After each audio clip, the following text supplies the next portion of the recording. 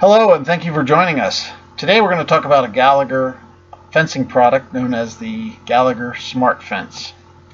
Not a lot of people have heard about this product, but we definitely sell a lot of them through our online store.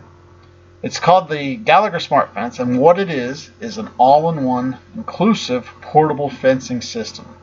It's great for pastures, paddocks, rotational grazing options, great for moving animals around. It's everything included in a in a kit, and it includes the wire, the reels, the uh, posts, and it's easy to wind up and move, set up, and it's just a great thing all around.